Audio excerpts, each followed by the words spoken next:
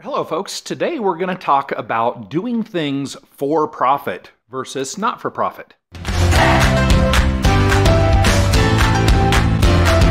So, we have this general idea, many people in society, that if you do something and you don't profit financially from it, you're doing a better thing.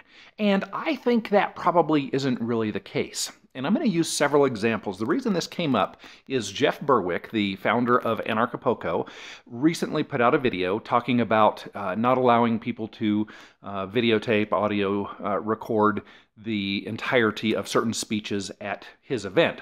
And some people thought, hey, you know, we're, we're all in this together. We're all here to try to make voluntarism, anarcho capitalism work. How dare you, uh, you know, not let people just do this. And yeah, he's renting the place, it's his property, but pretty nasty of him not to let people do that. Well, I'm here to offer a little bit different perspective. Um, it is taking away value for that particular circumstance. One of the things of value is I get to go and record it all and put it on my YouTube channel.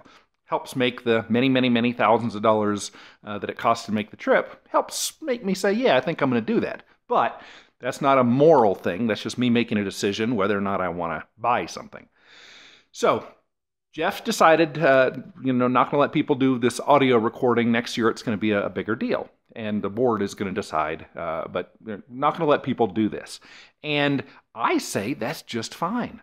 I say that Jeff probably started out the first Anarchapulco, I don't know, but the goal was hey, I like being around like minded people. I like building my tribe. I'm going to put this thing on. Maybe we make a few bucks, maybe not. Who really cares? Then, as years went by, he said, Hey, I can make money doing this. And now it's a full blown commercial operation that still has something to do with anarcho capitalism, but it's more the, the target market is a more of an alternative type thing. And there's still a little bit of ANCAP left in it, but not as much as, as some would like, and way more than others. But should he be blamed for this?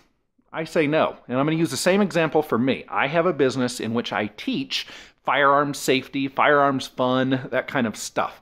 And there are a lot of people that have been in the same industry for many years that have done this for free. And they take great pride, and I, and, you know, I go out and I teach people. I introduce them to firearms, and and I help them learn, and and I do it because I have a passion for it. And there were some people that didn't care for the idea that I was doing this as a for-profit kind of thing, and that I charge more than any other shooting instructor in the world for what it is that I teach. And people thought that's just horrible. You shouldn't make money doing this. Well, then I think of another example. What about the minister who really believes deeply in his monotheistic thing and wants to go out and spread the gospel and comes up with the idea hey, why don't I start charging for this? If I can find a way to monetize it and I can make a living doing what I love, how great is that? So in these three examples, liberty activism, shooting instruction, and ministering, it occurs to me that it's probably okay to make a few bucks doing it, or a ton of bucks doing it. More power to the person. That takes nothing away from the people that are doing it for free. I still do some, well, for me, liberty activism isn't a moneymaker. It actually costs me a bunch of money, but I do it because I'm passionate about it and I have another source of income. I am completely okay with a minister charging for services, selling books, you know, giving a lot of tithe speeches. I'm fine with Jeff making money selling t-shirts and, and videos and, and a subscription server, whatever it is, more power to him. And if I want to do liberty activism and not get paid for it or even have it cost me money, it's up to me. It Doesn't make me any better morally than Jeff or his uh, organization. So that's just kind of my thought about it. And uh, what are your thoughts? It, does it kind of turn a person into a little bit of a bastard if they are charging for what it is they do? If it's something that we all agree we love, why not make some money at the same time? What can it hurt?